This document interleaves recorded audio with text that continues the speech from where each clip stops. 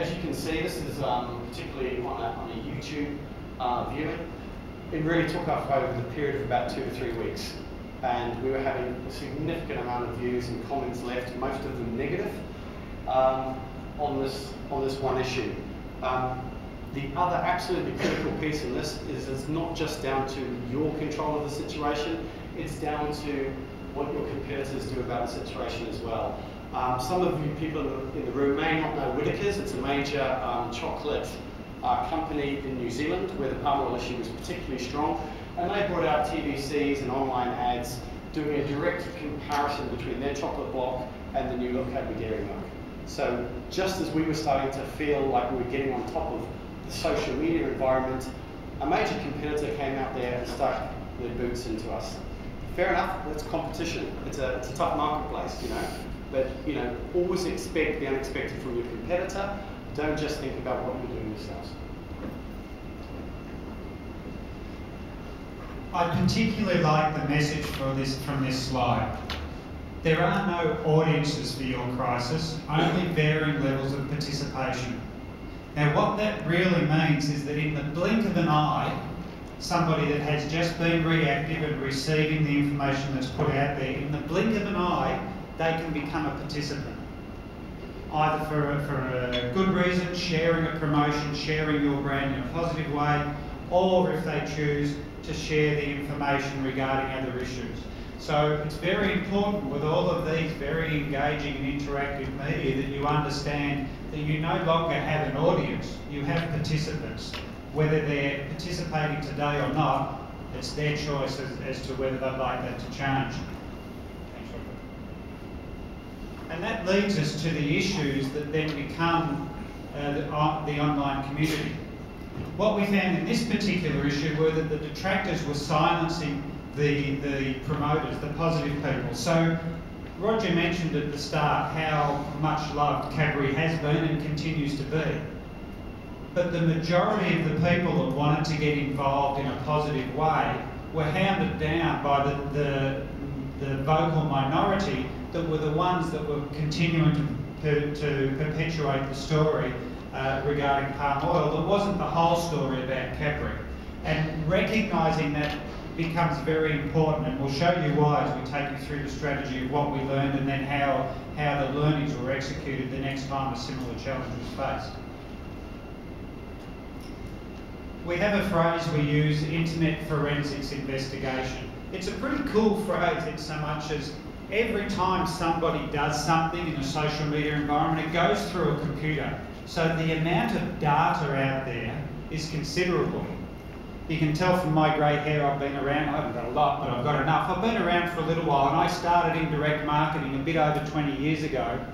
I'm not very active in terms of print and mail today, but the fundamentals of being able to measure, being able to test, and being able to follow through a thought process that is relevant for direct marketing is very relevant for internet marketing and specifically social media.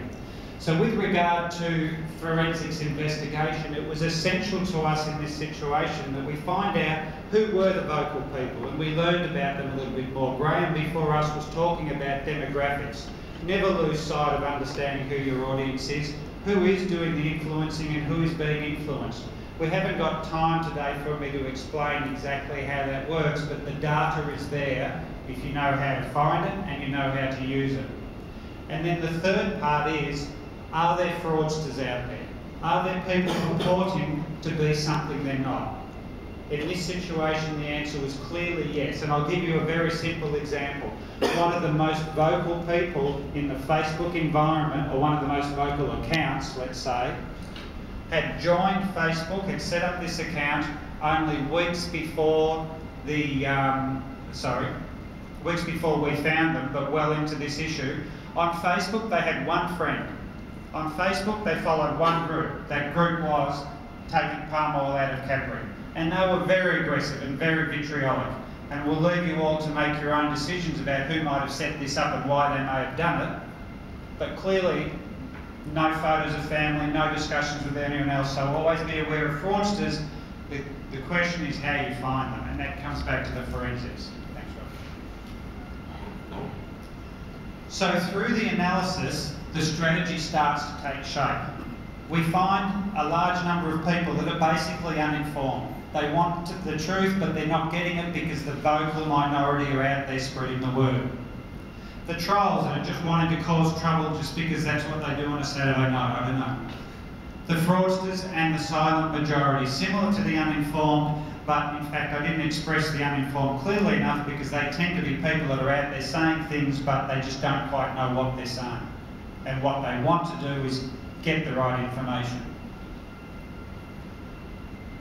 So in the end, it leads us to one strategy, not 100 tactics. And this is a very important slide for us. It's a very simple concept, but what we regularly see are businesses and agencies sometimes saying, oh quick, we've got to write here, we've got to get a Twitter account, let's say something up here, let's put a video up on YouTube. And so there are all these different tactics happening. Social media marketing and internet marketing is no different from any other marketing all of us in this room have learned.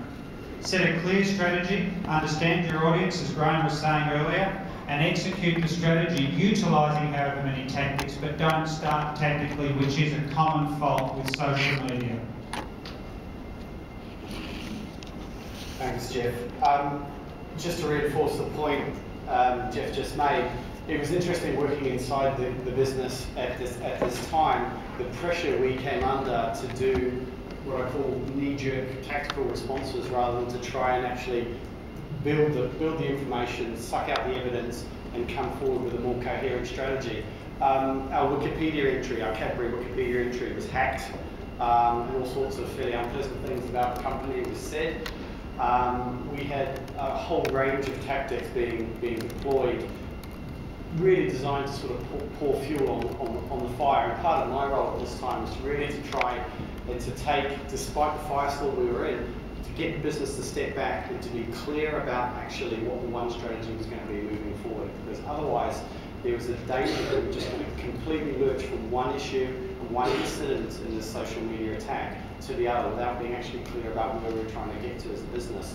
Um, let's be clear, we were pushing out throughout this process some fairly, I would say, overcomplicated messages about the sustainability of the palm oil we were sourcing.